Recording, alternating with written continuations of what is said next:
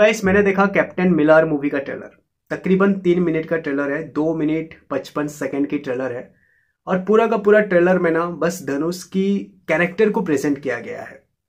कि वही जो कैप्टन मिलर वाला कैरेक्टर है, जो अभी कैसे शैतान बन गया है, वही सैतान वाले कैरेक्टर को ही प्रेजेंट किया गया है। तकरीबन तीन मिनट का ट्रेलर है तो कहानी के बारे में कुछ होगा, कुछ ऐसा सीन देखने को मिलेगा कि फ़िल्म की कहानी के बारे में ज़िक्र होगा, आपको समझ में आएगा, कुछ ऐसा होगा, ऐसा नहीं है, बिल्कुल डायलॉग्स भी बहुत ही ज़्यादा कम सुनने को मिल रहा है। पूरा का पूरा एक्शन पैक ट्रेलर है। वो शैतान वाला जो अवतार है कैप्टन मिलार का, वो दाढ़ी वाला अवतार है, जो गुस्से में एकदम से खतरनाक किरदार में जो नज़र आ रहे हैं धनुष, वो वाले कैरेक्टर को ही प्रेजेंट किया गया है और भाई साहब लिटरली तबाही है। बहुत ज़बरदस्त लगता है, बहुत ज़बरदस्त लगता है।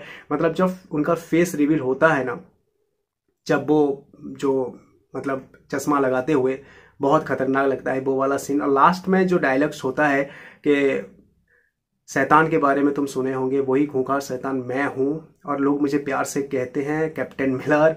मतलब एकदम से खतरनाक रूप के बाद वो कैप्टन मिलर वाला हंसता खिलता, एकदम से मुस्कुराता वाला फेस आ जाता है, बहुत ज़बरदस्त लगता है। हाँ वो जो कैप्टन मिलार वाला जो किरदार है मतलब सिर्फ़ जो मुस्टाच वाला, जो फौजी वाला जो किरदार है, उस वक्त उनके साथ बहुत ही ज़्यादा अत्याचार होगा, कुछ फ्लैशबैक वाला सीन हो सकता है, कुछ ऐसा है। उसके बाद वो इतना खूंखार बन गए हैं, डाकू बन गए हैं और अभी मार रहे हैं, सबको उड़ा रहे हैं, पूरा एकदम से बहुत ज़बरदस्त है। तीन मिनट का ट्रेलर में तीन सौ से ज़्यादा अंग्रेज़ को मार गिराए हैं तो फ़िल्म में कितने मारेंगे, जरा सोचो। बहुत ज़बरदस्त ये होने वाली है। फ़िल्म में हमें संदीप किशन को देखने को मिलेगा, जो कि बस थोड़ा सा ही देखने को मिला है चंद सेकेंड के लिए। शिव राजकुमार जी को भी देखने को मिलेगा, जो कि इमोशनल एंगल को पकड़ते हुए थोड़ा बहुत उनकी झलक देखने को मिलता है। कल मैंने एक सॉन्ग देखा, एक वीडियो क्लिप देखा था उनके इंस्टाग्राम पे, एक सॉन्ग का, जहाँ पे वो डांस कर रहे थे। जिस डांस मूवमेंट पे वो डांस कर रहे थे ना, बिल्कुल वैसा वाला डांस अभी धनुष कर रहे हैं ट्रेलर में, जो कि दर्दिले दिल मतलब एकदम से याद करते हुए गुस्से में बहुत ही मतलब उनको देख करके फील हो रहा है कि उनके अंदर कितना गुस्सा पड़ा हुआ है और कितना दर्दिला है उनका दिल।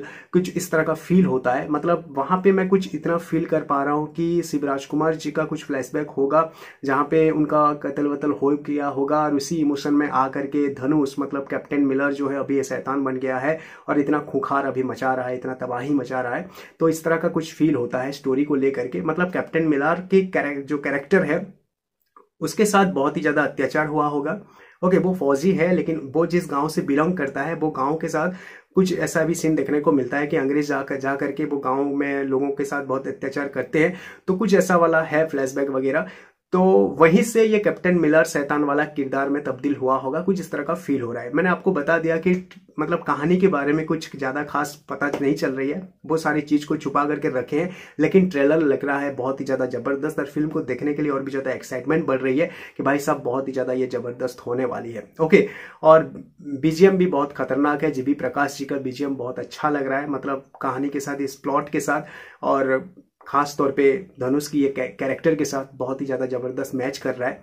मतलब कैप्टन मिलर फ़िल्म जो है, मज़ा आने वाला है। लिटरली मज़ा आने वाला है। आपको ये ट्रेलर कैसा लगा ज़रूर कमेंट करिएगा। अगर नहीं देख चुके हो तो जाकर के देख लो। गोलमाइंड पे है हिंदी में। आप जाकर के फील कर सकते हो। ओके तो बहुत ज़्यादा ज़बरदस्त लग रहा है। फ़िल्म के लिए एक्साइटमेंट और भी ज़्यादा बढ़ रहा है। बारह जनवरी को ये फ़िल्म रिलीज़ हो रही है। आप कितना एक्साइटेड हो कैप्टन मिलर मूवी के लिए, ज़रूर कमेंट करिएगा। Thanks for watching a nice day take care